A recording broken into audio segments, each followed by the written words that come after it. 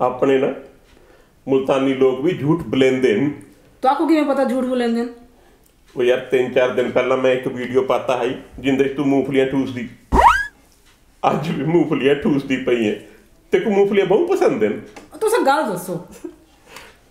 ਹੂੰ ਵੀਡੀਓ 'ਚ ਨਾ ਮੈਂ ਲੋਕਾਂ ਨੂੰ ਦੱਸਿਆ ਹੀ ਕੀਰਤੀ ਬਿਨਾ ਮੇਕਅਪ ਦੇ ਬੈਠੀ ਏ ਵੱਲ।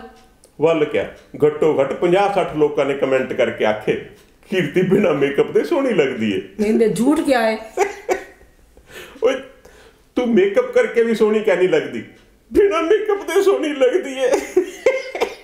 ਕੀ ਮਤਲਬ? ਓ ਕਮ ਔਨ ਫਿਰ ਮਤਲਬ ਪੁੱਛਦੀ ਪਈ ਹੈ ਯਾਰ। ਉਹ ਮਤਲਬ ਸਰਾਸਰ ਝੂਠ ਬਲੰਦੇ ਨੇ। ਉਹ ਬੰਦੇ ਦੀ ਸੂਰਤ ਭਾਵੇਂ ਜੀਓ ਜੀ ਵੀ ਹੋਵੇ ਸੀਰਤ ਚੰਗੀ ਹੋਣੀ ਚਾਹੀਦੀ ਏ। ਸਹੀ ਗੱਲ ਹੈ ਸੂਰਤ ਤਾਂ ਰੱਬ ਨੇ ਬਣਾਈ ਏ।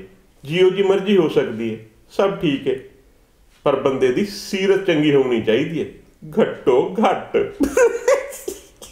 ਕਿਆ ਮਤਲਬ ਏ? ਘੱਟੋ ਘੱਟ।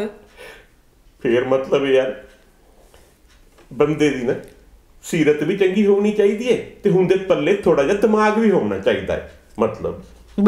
ਮੇਰੀ ਸੂਰਤ ਵੀ ਠੀਕ ਠਾਕ ਏ ਮੇਰੀ ਸੀਰਤ ਵੀ ਚੰਗੀ ਏ ਤੇ ਮੇਰੇ ਪੱਲੇ ਦਿਮਾਗ ਵੀ ਹੈ ਪਿਆ। ਤੇਰੇ ਪੱਲੇ ਦਿਮਾਗ ਹੈ ਪਿਆ? ਹਾਂ। ਹੇ ਹੇ ਹੇ ਹੇ। ਹਿੰਦੇ ਛੱਸਣ ਵਾਲੀ ਕੀ ਗੱਲ ਏ? ਮੈਂ ਨਾ ਤੇਕੂ ਇੱਕ ਗੱਲ ਦੱਸੇਣਾ ਇੱਕ ਕਹਾਣੀ ਹੈ ਛੋਟੀ ਜੀ ਮੈਂ ਨਹੀਂ ਸੁਣਨੀ।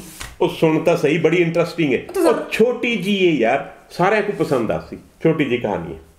ਦੱਸੋ। ਇੱਕ ਨਾ ਜਨਾਨੀ ਆਈ ਉਹ ਮੁਲਤਾਨੀ ਚੌਕ ਰਾਂਦੀ ਆਈ ਤੇ ਉਹ ਨਾ ਸਨ ਸਿਟੀ ਸਮਾਨ ਲੈਣ ਵਾਸਤੇ ਆਈ। ਉਹਦੇ ਕੋਲ ਬਹੁਤ ਸਾਰੇ ਪੈਸੇ ਵੀ ਹਨ ਪਰਸ ਵਿੱਚ। ਉਹਨੇ ਬਹੁਤ ਸਾਰਾ ਸਮਾਨ ਗਿਣ ਕੀਤਾ ਤੇ ਵਾਪਸ ਜਾਣ ਲੱਗੇ ਨਾ ਉਹਨੇ ਆਟੋ ਕਹਿਣਾ ਕੀਤਾ। ਪੈਦਲ ਹੀ ਚੱਲ ਪਈ। ਹੁਕੂ ਬਹੁ ਭੁੱਖ ਵੀ ਲੱਗੀ ਖੜੀ ਹਾਈ। ਫੇਰ ਵੀ ਉਹ ਇੰਨਾ ਸਾਰਾ ਸਮਾਨ ਚੱਕ ਕੇ ਭੁੱਖੀ ਟੁਰਦੀ ਗਈ ਟੁਰਦੀ ਗਈ। ਰਸਤੇ 'ਚ ਨਾ ਬਹੁਤ ਸਾਰੀਆਂ ਖਾਵਣ ਪੀਵਣ ਦੀਆਂ ਦੁਕਾਨਾਂ ਵੀ ਹਨ। ਵੱਲ। ਵੱਲ ਹੁਣੇ ਕੁਛ ਨਾ ਖਾਦਾ ਹੁਣਾ ਤੋਂ। ਭੁੱਖੀ ਟੁਰਦੀ ਗਈ ਟੁਰਦੀ ਗਈ। ਰਸਤੇ 'ਚ ਬਹੁਤ ਸਾਰੀਆਂ ਰੇੜੀਆਂ ਵੀ ਹਨ ਭਟੂਰੇ ਦੀਆਂ ਸਮੋਸੇ ਦੀਆਂ। ਫੇਰ? ਫੇਰ ਵੀ ਹੁਣੇ ਕੁਛ ਨਾ ਖਾਦਾ ਟੁਰਦੀ ਗਈ ਟੁਰਦੀ ਗਈ।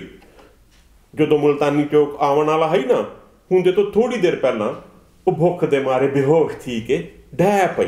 ਵੱਲ। ਵੱਲ ਲੋਕਾਂ ਨੇ ਹੁਕੂ ਚਾਤਾ ਤੇ ਹੁੰਦੇ ਘਰੇ ਪਹੁੰਚਾ ਦਿੱਤਾ। ਵੱਲ।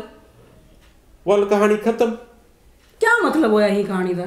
ਓਏ ਹੀ ਕਹਾਣੀ ਦਾ ਮਤਲਬ ਹੈ ਜਿਹੜੀ ਚੀਜ਼ ਤੁਸੀਂ ਇਸਤੇਮਾਲ ਹੀ ਕਹਿਨੀ ਕਰਨੀ ਉਹ ਚੀਜ਼ ਤੁਹਾਡੇ ਪੱਲੇ ਹੋਵਣ ਦਾ ਕੀ ਫਾਇਦਾ? ਮੇਰੇ ਪੱਲੇ ਦਿਮਾਗ ਵੀ ਹੈ ਪਿਆ ਇਹ ਗਈ ਮੋਟੀ, ਇਹ ਵੈਂਦੀ ਵੀ ਹੈ, ਮੋਟੀ ਵੈਂਦੀ ਪਈ ਹੈ। ਉਹ ਡੰਡਾ ਚਾਹ ਕੇ ਦੋਏ ਤੇਰੀ